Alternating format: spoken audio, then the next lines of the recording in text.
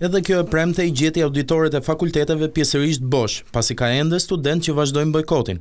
Të tjerët vijojnë normalisht mësimin. Në Fakultetin e Historisë dhe Filologjisë u zhvillua një mbledhje me të gjithë pedagogët dhe u vendos që ditën e hënë të zhvillohet një grevë.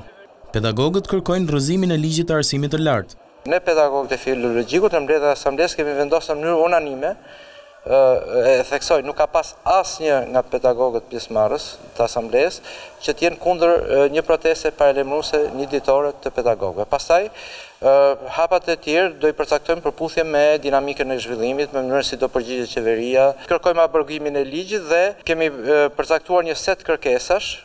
të detajuara, për të cilat ne do bëjmë një protestë. Ndërkohë studentët janë të ndarë mes bojkotit dhe vijimit të mësimit. Atëherë, çështja e mësimit për t'u sqaruar, të gjithë studentët e duan mësimin, nuk ka student që thotë s'do të shkojë në mësim, por ne kemi dalë në protestë për të për arsim cilësor. Sot ka ardhur për mësim apo për protestë? Jo, kam ardhur për të bërë mësim, po me sa shoh nuk po bëhet, a kupton?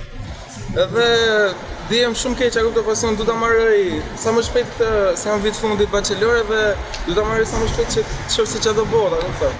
E njëjtë është situata edhe në Fakultetin Ekonomik. Protesta vazhdon, por ka edhe studentë që kanë hyrë në mësim. Të rinjtë i kanë dërguar një listë me disa pika dekanit dhe presin zgjidhje prej tij. zhvilluar mësim këto ditë? Është lajmëruar që do zhvillohet, por faktikisht nuk ka patur shumë pak nxënës që kanë pranuar të vijnë. Pjesa më e madhe kanë qenë për bojkot, por ka patur edhe nga ata që kanë votuar për mësim, domethënë. Sot nuk e dimë akoma si është situata dhe unë besoj se nuk e di javës tjetër disa grupe mendojnë të fillojnë, të paktën nga ato që kemi diskutuar, nuk as vetë nuk e kemi të qartë, domethënë. Grupe studentësh të Universitetit të Korçës dhe Durrësit i janë bashkuar protestës në kryeqytet duke bllokuar auditoret e universiteteve.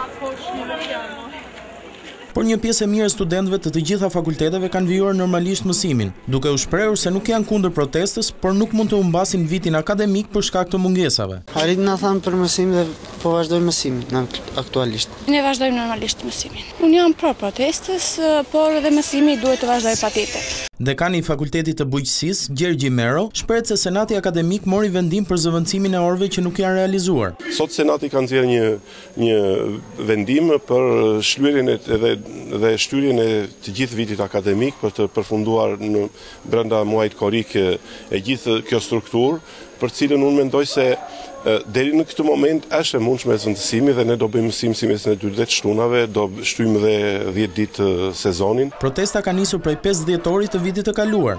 Ajo është ndërprerë për shkak të festave të fundvitit, ndërkohë që prej shtatë janarit ka nisur ngujimi në mjediset e fakulteteve.